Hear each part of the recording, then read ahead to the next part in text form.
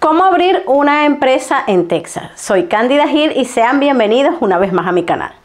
Como ven el fondo, cambió, tengo nueva oficina, me mudé de Houston a Austin. Si me sigues por mi cuenta de Instagram, lo debes de saber porque por allí les conté cuando me mudé. Y bueno, pronto les voy a hacer un videito relacionado a esto. Pero bueno, por eso es que no tenemos ahora background, tengo que decorar. Aún estoy en eso, pues todavía estoy desempacando. Sin embargo, como siempre, bienvenidos a mi canal. Hace un tiempo les publiqué un video de cómo registrar una empresa en Texas, pero con esto de la pandemia, que ahora todo se hace más en línea que presencial, eh, puedes hacer todo el registro en línea. Entonces este video es para explicarles cómo hacer la reserva de nombre, cómo hacer el registro de la bien sea LLC o corporación y luego cómo ir a la página, cómo sacar, cómo tramitar el EIN o número EIN, que es como decir el número de seguro social de la empresa o el número de RIF de la empresa, que se hace a través de la página del IRS, y luego cómo ir a sacar el permiso de venta dentro del estado de Texas. Si tú no eres del estado de Texas, sino que estás en Florida, luego de que explique todo lo que relacionado con Texas, voy a explicarles cómo sería en el estado de Florida, sin ahondar mucho porque tendría que pagar fees y todo eso, pero les voy a explicar básicamente cómo se hace allí. Y para otros estados, pues es bastante similar el procedimiento. Vamos a comenzar con los tipos de compañías que puedes registrar en Texas. Básicamente, a nivel país, cada estado tiene, como saben, sus propias normas, ¿no?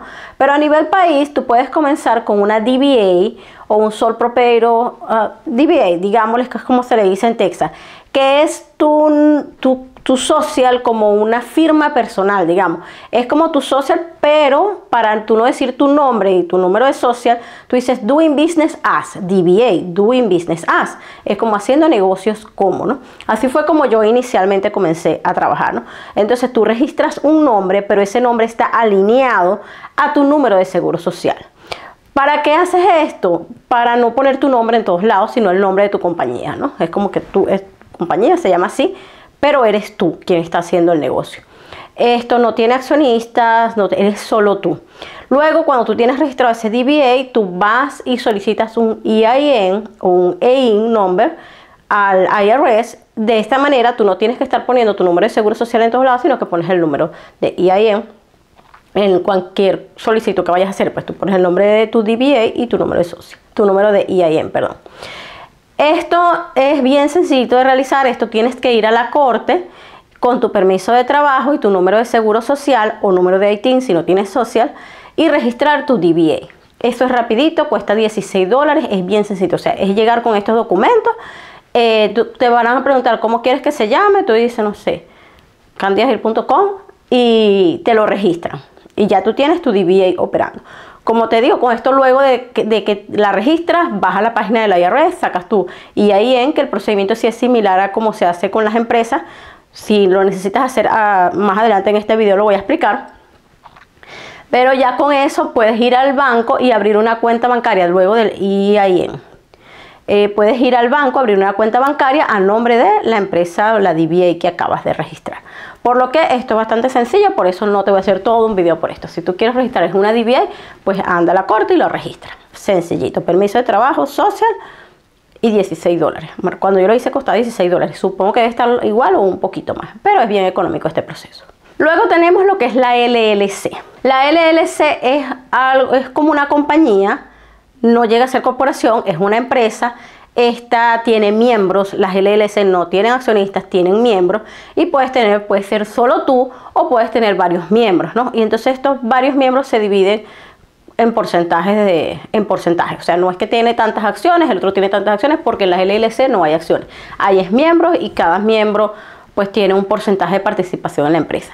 Como te digo, puede ser solo tú, puede ser tú con tu cónyuge, puede ser tú con tu socio, pero una LLC esta LLC, ya vamos a ver el procedimiento que les voy a decir para reservar nombre y registrar todo esto, eh, va a ser el que les voy a explicar a continuación. También tenemos las corporaciones, que las corporaciones sí tienen accionistas, puede ser también solo tú o puede ser varias personas, pueden haber empresas extranjeras allí o, extranjeros en estas corporaciones. Eh, tenemos accionistas y ellas tienen unas ventajas tributarias que tú puedes tener la corporación C o la corporación S. Las corporaciones, eh, estos están reservados para residentes y ciudadanos americanos. Personas bajo condiciones de asilo o solo con permiso de trabajo no pueden registrar una corporación C o S. Hay personas que las tienen porque se las registran y porque no les, no les piden este documento como requisito, pero no deberían hacerlo. Bajo revisión, bajo inspección, es que van a notar, mira, tú no debiste haber abierto una corporación. Si la tienes, pues bien, te la abrieron. Pero si la vas a registrar y lo que tienes es permiso de trabajo porque estés solicitante de asilo o por tu estatus migratorio, pues tienes que irte a la LLC.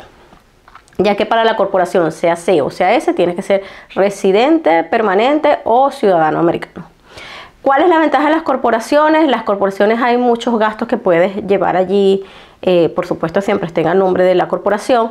Eh, puedes llevar esta, ah, o sea, la corporación C tiene lo que llamamos una doble tributación, porque tú pagas los impuestos a través de la corporación y luego la ganancia que te queda la pasas a los accionistas, la divides entre los accionistas, que va a sus impuestos, y entonces allí tienes que también declarar impuestos por esto. A diferencia de la corporación S, que la corporación S, tan sencillo como que hay una ganancia, digamos, de 10 mil dólares y esos 10 mil dólares se divide a los accionistas antes de pagar impuestos y entonces son los accionistas quienes pagan eh, los impuestos por esto.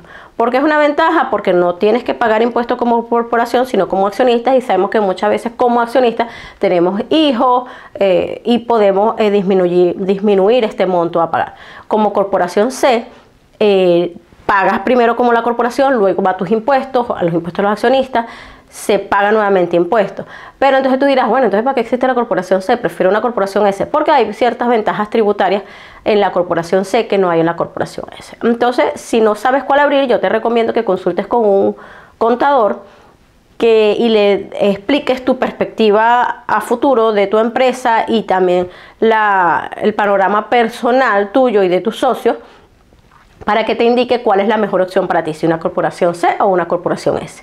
Tú puedes iniciar con una corporación C y luego, con, eh, eh, luego cambiar a una S. No necesariamente tienes que mantenerte por siempre en una corporación S o cuando yo abrí tengo que ser de una vez una corporación S. O sea, tú puedes abrir tu corporación C y, y luego cambiar a una S. Pero bueno, ya estos son temas que tú eh, discutes con tu contador que te dé cuál es la mejor estrategia a seguir para tu negocio. Entonces, eh, te voy a explicar en el computador cómo se hace el registro de la empresa. Pero antes de ir al computador, quiero recordarte por favor que te suscribas al canal, comparte, dale like si te gusta este video, compártelo con otras personas que puedan estar necesitando la información y así me ayudas a hacer crecer el canal. Y esta información le llegue a más y más personas porque realmente es bien sencillo uno mismo registrar su corporación. De todas formas, si tú necesitas que alguien te haga el procedimiento por ti porque no lo quieres hacer tú o no lo puedes hacer tú o tú tiempo está bastante limitado, puedes escribirme a mi correo candida.gil.gmail.com y por allí pues yo te envío los honorarios y cuál es el servicio, cómo es el servicio que yo presto para el registro de la corporación, de la LLC o de la empresa que tú quieras registrar. Entonces, eh, vamos al computador. Aquí estamos en la página del Estado de la Secretaría de Texas, ¿no? Esta es la dirección, eh, la dirección se las voy a dejar en la descripción del video, ¿no? Entonces, aquí, pues, vas, aquí vas a encontrar muchísima información del Estado de Texas. Pero lo que nos interesa pues es el registro, ¿no? Entonces, aquí tienes este enlace o también tienes, puedes irte por aquí. Eh, aquí hay mucha información que tú puedes ir registrando, verlo. Creo que esta página también, sí, mira, también la tienes en español, solo que pues no tan bonita y organizadita, ¿no? Pero también puedes ver muchas cosas en español. Entonces, vámonos aquí a este detalle, aquí. Eh, también aquí puedes ver, también aquí vas a encontrar mucha información si la, o sea, deberías leerla, ¿no? Si eres nuevo en esto, deberías leerla para que sepa la información que te están presentando aquí. Entonces le damos a entrar al sitio y aquí si es primera vez que tú estás entrando a esta página, tienes que decirle eh, crear mi cuenta, ¿no? Porque aquí eh, no es que tú crees un usuario, sino que tú tienes que hacer un registro para crear tu cuenta. Y una vez que la creas, eh, ellos te van a mandar como un número de usuario al correo electrónico que tú seleccionaste. Entonces vamos a ver que dice, si tú no tienes una cuenta, entonces puedes solicitarla aquí. Aquí tú vas a colocar el nombre de la empresa o tu nombre. Pues en este caso, si estamos registrando nuestra empresa, pues vamos a colocar aquí nuestro nombre porque aún no has registrado ninguna empresa. Una vez que colocaste tus nombres, tus datos y le diste a continuar, te va a salir esta pantalla en donde tienes que colocar tu dirección, tu número de teléfono, tu correo electrónico, muy importante porque el correo electrónico es donde te va a llegar el usuario que ellos van a crear y el password que vas a, crear. ¿no? Esto anótalo, no lo pierdas, ya que por el usuario que te van a dar ellos y vas a crear el password, con eso es el que tú vas a entrar, no con tu correo electrónico, sino con el usuario que ellos te van a enviar a tu correo. Luego ellos te piden una información de pago, ahí no te van a cargar nada. Eh, la información de pago que ellos te piden es porque cada vez que tú haces una revisión de nombre, pues te van a cobrar un dólar y cuando ya tú pides la reserva de nombre, te va a costar 40 dólares la reserva de nombre, no la empresa, la reserva de nombre. Porque lo primero que tenemos que hacer es reservar. Muchas veces la gente hace el proceso completo, no manda la reserva de nombre junto con la solicitud de la apertura de empresa. Pero si el nombre no está disponible, entonces eso te va a demorar el proceso. Entonces lo ideal es que tú primero hagas tu reserva de nombre, esperes tus días, que eso demora unos 3, 4 días en que te respondan si está disponible o no. Y luego, entonces tú vayas a lo que es a registrar la empresa. Entonces aquí en el momento apoyando la, la cuenta, colocando aquí los datos de tu tarjeta de crédito, ahí no te van a cobrar nada. De hecho, cada vez que tú ingresas a la cuenta, te piden los datos de la tarjeta de crédito, es un fastidio, pero bueno, hay que hacerlo. Entonces aquí colocas los datos de tu tarjeta de crédito y pues tus, tus, datos de aquí abajo ya están cargados previamente porque los acabas de colocar. Entonces aquí ya tú le das a aceptar y con el aceptar ya tienes que esperar es que ellos te envíen a tu correo electrónico tu, tu número de usuario. Eso te llega, ellos dicen que máximo una hora, pero te llega realmente rápido. Luego del rato que tienes que esperar, te va a llegar un correo como este, en donde aquí te dicen el número de usuario. Y, con eso entonces, y la clave que tú creaste es que vas a ingresar a la cuenta que acabas de hacer. Esta página que es el login, te voy a dejar también el enlace en la descripción del video eh, colocas aquí el usuario que creaste, el usuario que te enviaron y la clave que tú creaste cuando hiciste el registro. Por eso te digo que es muy importante que la anotes, si no tienes que irte a olvidar mi password y bueno. Una vez que estás logueado, fíjate que te vuelve a pedir la información de tu tarjeta de crédito. Entonces, bueno, ahí le damos eh, continuar. Y entonces aquí otra vez el número de la tarjeta de crédito. Luego de que ya cargaste toda otra vez nuevamente la información de la tarjeta de crédito, entonces te dice que o sea, que te da una información que, bueno, deberías de leerla. Y entonces te vas a Business Organization. Entonces aquí te dice si quieres buscar disponibilidad de nombre o si quieres reservar el nombre. Aquí, o sea, si quieres reservar el nombre, aquí te dice qué es lo que tú quieras saber, que aquí te dice todos los tipos de empresas que hay. Eh, yo les expliqué pues los más comunes, pero tipos de empresas hay muchísimos, ¿no? Entonces, digamos, aquí tú puedes ir directamente a buscar disponibilidad del nombre o puedes aquí decirle aplicación for name reservation y haces la búsqueda, ¿no? Tú dices aplicación para for name reservation, continuar y aquí eh, si tú pones el nombre y le dices continuar ya estás haciendo la reserva de nombre porque se supone que ya buscaste. Pero si no sabes si el nombre que tú quieres colocar está disponible, tú le dices name Ok, vamos a colocas el nombre y luego de que colocas el nombre le dice ver si está disponible. Digamos que que vamos a colocar eh, los perros de mi cuadra. Porque todos los días pasa un señor por aquí al frente paseando un perrito. Entonces digamos que vamos a poner eh, mis negocios exitosos. Y le decimos buscar disponibilidad de nombres. Cuando tú le das allí te dice cuáles hay nombres parecidos eh, y te dice qué tipo de empresa es ¿no? y si está en uso. Entonces tú ves aquí mira no hay ninguno disponible. Entonces este fíjate que te dice identidad de nombre mis negocios exitosos no hay nada parecido entonces vuelves a retornar. Cada vez que tú haces una revisión te cobra un dólar por cada revisión. Ya vimos que no existe, ya me cobraron un dólar. Entonces le decimos continuar. Ok, entonces aquí colocamos el aplicante. ¿Quién es que está aplicando? Entonces volvemos a poner nuestros datos, nuestra dirección y le decimos continuar.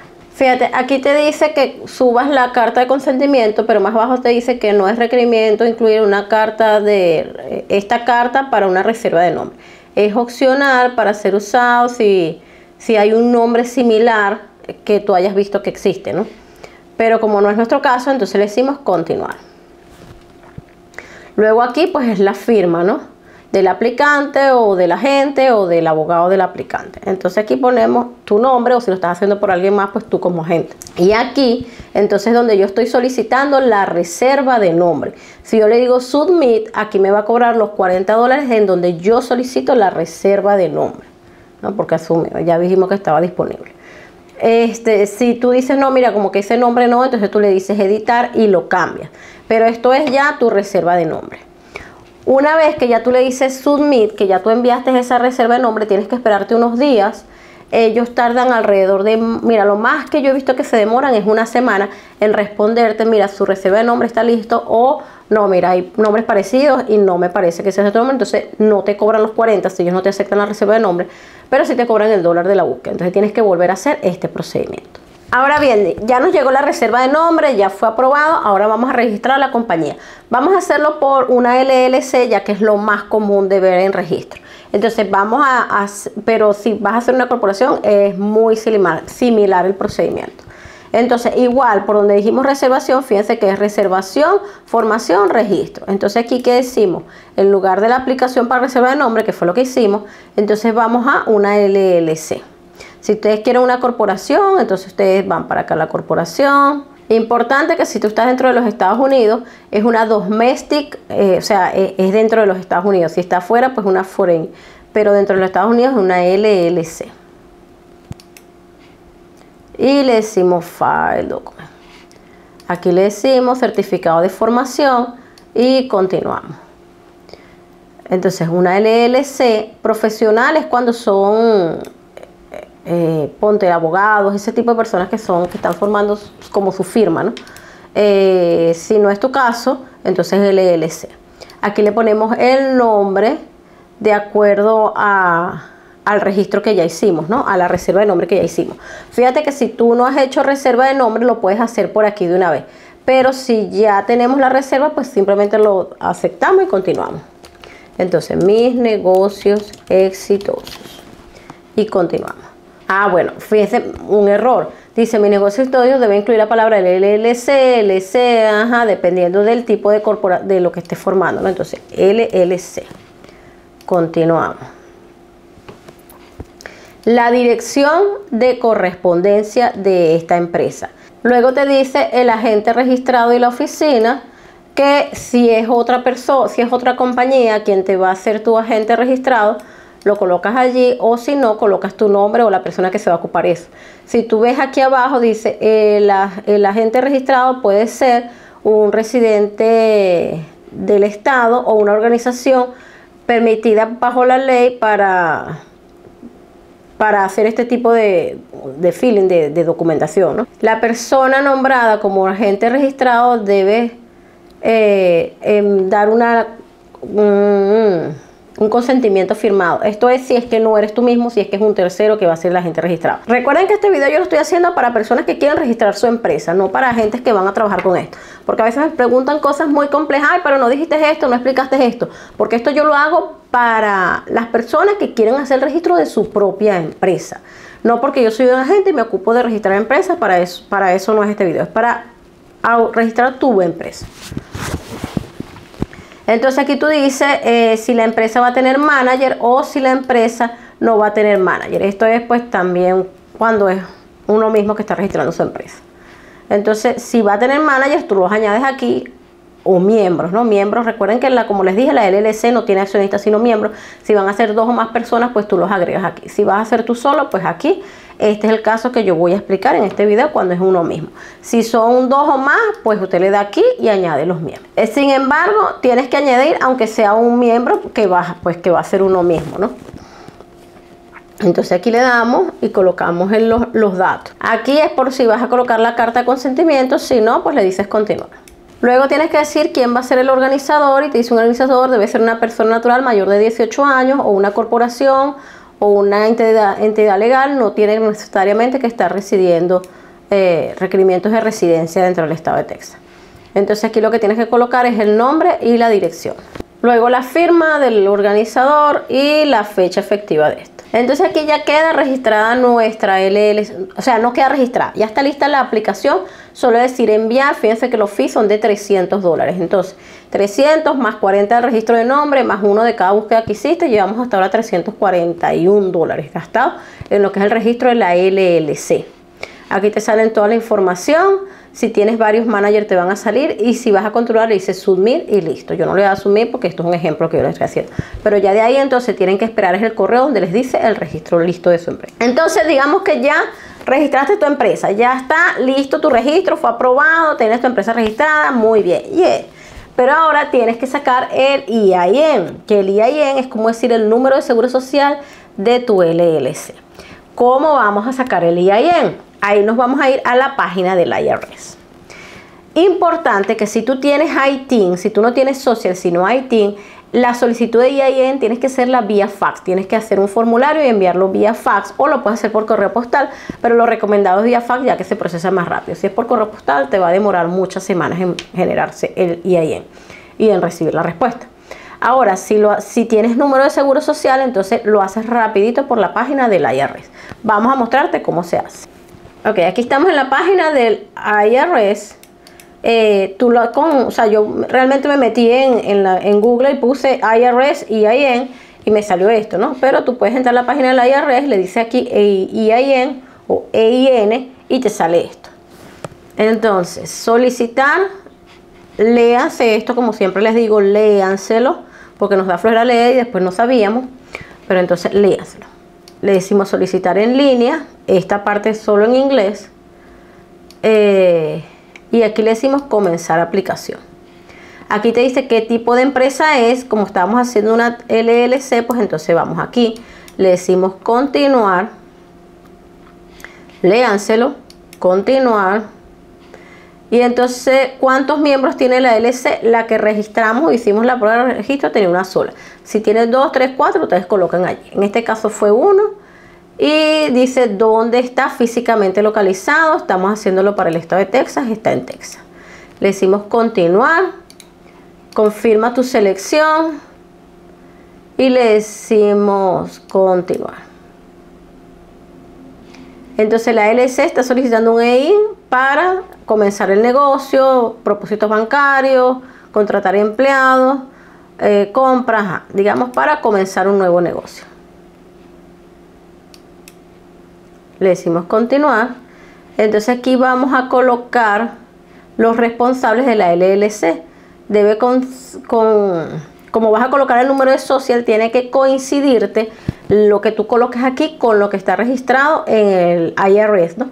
Eh, me refiero a que nombres y apellidos, saben que a veces tenemos el nombre o la inicial, primer nombre, inicial, el segundo nombre, apellido, entonces si esto no te coincide, te va a dar error y no te lo va a aceptar. Entonces, muy importante que esto te coincida, aquí te lo dice, con la información que tienen ellos en el IRS. Y aquí coloca si soy el dueño o si soy una tercera parte, aplicando por el IIN en nombre de la LLC. Luego te pide dónde va a estar ubicada físicamente la LLC, que debe ser la misma dirección que colocaste allá atrás cuando estabas registrando la empresa. Luego te pide el nombre legal de la LLC. Si aparte le hiciste un Doing Business A, si le pusiste ponte tipo, por ejemplo, esto se refiere por ejemplo a McDonald's, que McDonald's tú ves McDonald's, pero su nombre de la empresa es otra cosa, ¿verdad? Entonces, es como decir su nombre empresa y su Doing Business As es McDonald's. Entonces, esto es en caso de que tú le hayas registrado un Doing Business As. Entonces, dijimos mis negocios exitosos. Y pues el, condado ya lo toma predeterminado porque le puse un código postal, el estado, el estado donde está en, como decir, en lo que se basa legalmente la corporación y cuándo comienza. Muy importante cuándo comienza, que sea realmente cuando vaya a comenzar a operar. Porque si tú la registras hoy, pero tú vas a comenzar a operar en mayo, entonces vas a tener que estar haciendo declaraciones y cosas todo este tiempo. Entonces es muy importante que, sea real. Eh, Texas y digamos que comienza a operar en febrero del 2022. Decimos continuar y entonces aquí te pregunta eh, preguntas de seguridad. Dependiendo de tu tipo de empresa, tú vas a responder este tipo de cosas, ¿no? Porque si está envuelto en, juegos de azar, si necesita hacer, eh, presentar una 720. Así, dependiendo de tu tipo de empresa, tú vas a responder esto. Luego de lo que lo presente, de lo que responda, le das a continuar. ¿Qué tipo de organización es? No sé, puede ser construcción o servicios de comida, seguro, manufactura, real estate, de, de acuerdo a lo que tú vayas a hacer. Entonces, digamos construcción, por ejemplo. Entonces te dice, bueno, como pusimos construcción, ya esto es tipo de, más detallado. Si tú colocas otro tipo de oficio, seguramente te pide más detallado y ya es como para determinarte un código de, declaración. Luego te dice cómo quieres recibir tu confirmación letter, si la quieres recibir con una carta online o si la quieres, o sea, si la quieres descargar de una vez o si la quieres recibir por correo postal. Eh, lo ideal pues es recibirlo de una vez por el, por, ahorita, pues que la descargues de una vez pero hay quienes les gusta recibir su cosa por el correo postal. Yo prefiero en línea para de una vez tenerlo ahí, imprimirlo y no tener que esperar las semanas que se demoren ellos enviarlo. Y una vez que tú le das continuar, pues ya te sale tu número de IAM. Por supuesto, yo no le voy a dar porque esto es un ejemplo que yo les estoy haciendo. Ahora vamos con la parte de sacar el permiso de taxes del estado de Texas. Recuerden que aquí hay impuestos a nivel federal y a nivel estatal, ¿no? En, los Estados Unidos, ¿no? A nivel federal es lo que le pagamos a la IRS a principio de cada año correspondiente al año anterior. Y que para esto sacamos el IIM, porque es con el número en el cual vamos a declarar los impuestos que generamos bajo las rentas, bajo las ganancias que, tuvimos en el año fiscal, ¿no? El año fiscal. Pero para nivel de Estado ya son impuestos a las ventas. Lo que tú vendes le pagas impuesto al Estado por ventas de bienes o por servicios. Todo depende de cada Estado. Por ejemplo, en el estado de Texas hay servicios que no pagan impuestos, pero las ventas de productos sí pagan impuestos y los impuestos varían de acuerdo a lo que tú vendas y eso sí tienes que averiguarlo más detalle con el contador que te vaya a realizar tus impuestos, ya que esto varía de acuerdo a la naturaleza de tu negocio, qué impuestos vayas a pagar y pues el estado donde te encuentres. Recuerden que este ejemplo es para el estado de Texas, pero básicamente es lo mismo para cualquier estado. Entonces, para sacar nuestro permiso o nuestro Sales Tax Permit, eh, que es el permiso de ventas dentro del estado de Texas y con el cual vamos a pagar los impuestos, tenemos que entrar a la página de controllertexas.gov. Este link también se los voy a dejar en la descripción del video.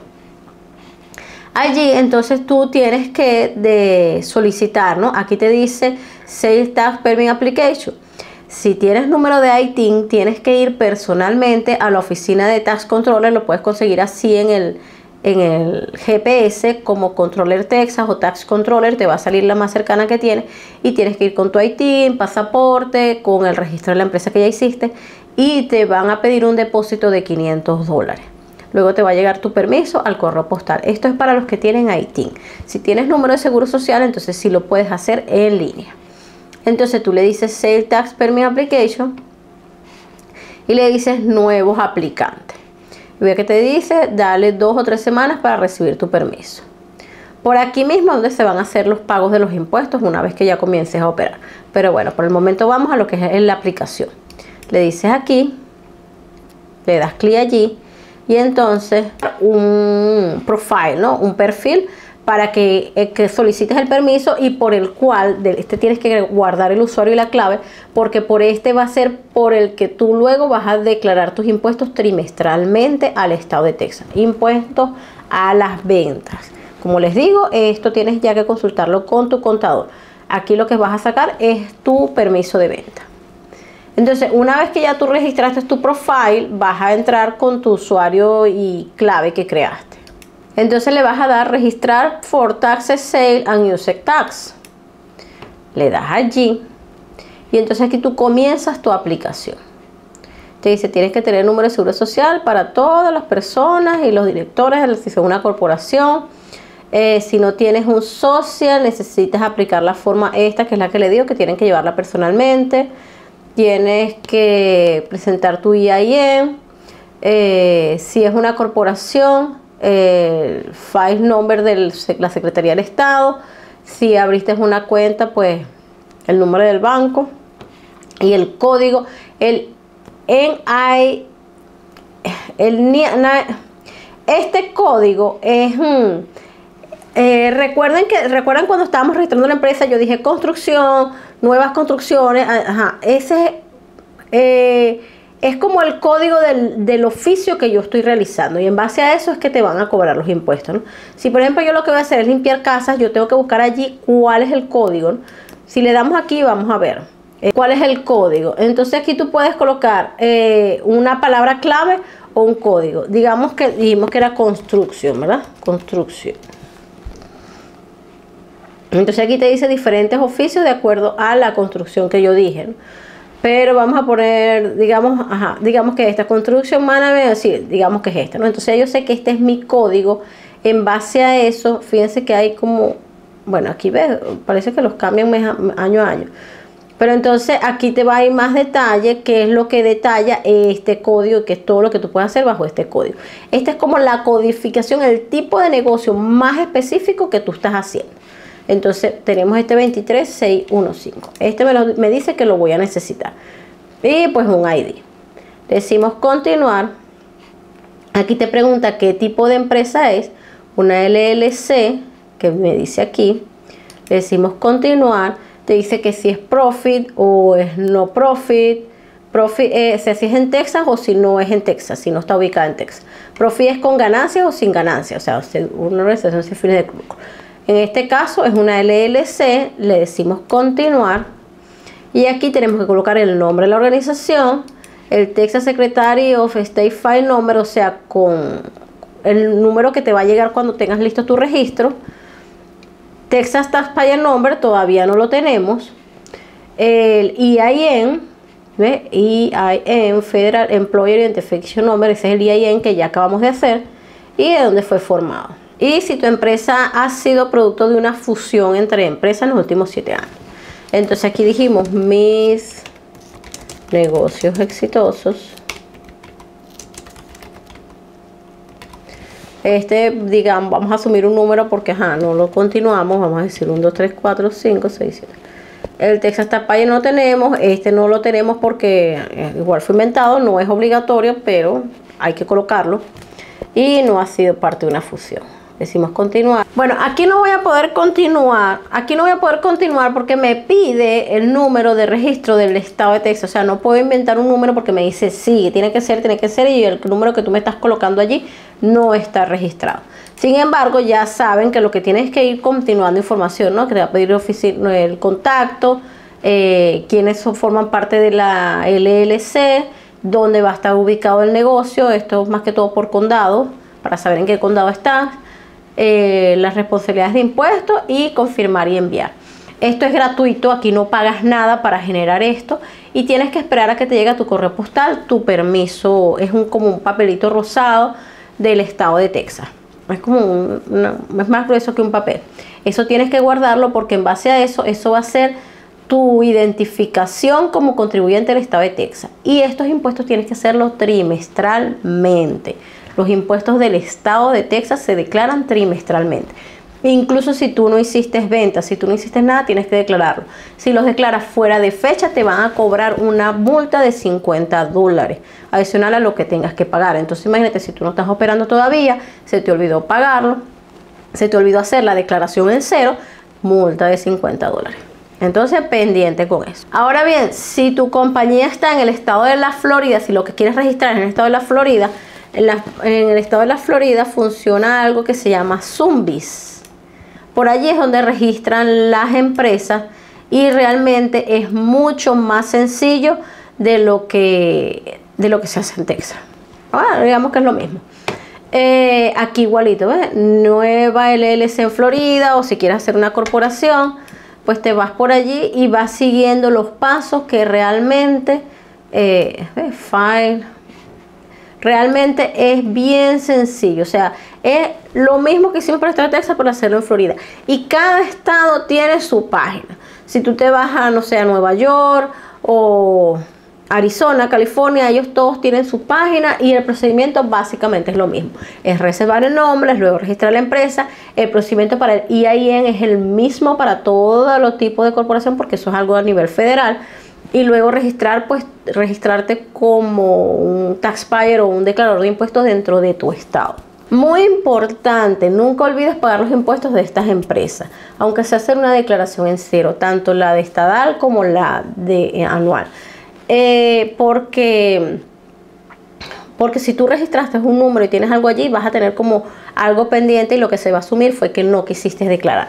Entonces es muy importante con esto. Como les digo, si estás interesado en realizar este proceso, no lo quieres hacer tú, no tienes tiempo o no sabes cómo hacerlo o no quieres equivocarte, puedes escribirme a mi correo candida.gil.gmail.com. Por ahí yo te envío mis honorarios y qué documentos necesitas para registrar la LLC o la corporación, lo que quieras registrar. Además recuerda compartir este video y suscribirte al canal. Ayúdame por favor a hacer crecer esta comunidad, hacerle llegar este video a otras personas que también pueden estar necesitando la información. Estoy en un grupo de WhatsApp en donde una en el, hace unas semanas atrás vi que habían compartido un video mío, mira, aquí está cómo puedes hacer esto. Y de verdad que me dio mucha alegría porque esa es la idea, que compartan la información que yo les estoy dejando aquí para poder ayudar a otras personas. También, bueno, puedes entrar a mi página web candidagil.com. Allí también vas a estar encontrando información. Recuerda también la, en la cuenta de Instagram, que en la cuenta de Instagram eh, siempre hay información, se mueve más, ¿no? Publico muchas más cosas, pues por supuesto es más fácil estar publicando allí que estar haciendo videos, editando, subiendo YouTube. Y además que es una cosa más larga, ¿no? En, en Instagram es más rapidito. Entonces, bueno, eso es todo por este video. Espero haberte podido ayudar y que puedas registrar tu empresa y comenzar a ser un empresario o un entrepreneur, como dicen aquí, dentro de los Estados Unidos. Y bueno, adelante y todos los éxitos para este año 2022. Gracias por estar aquí y besito a todos. Dios me los bendiga. Bye.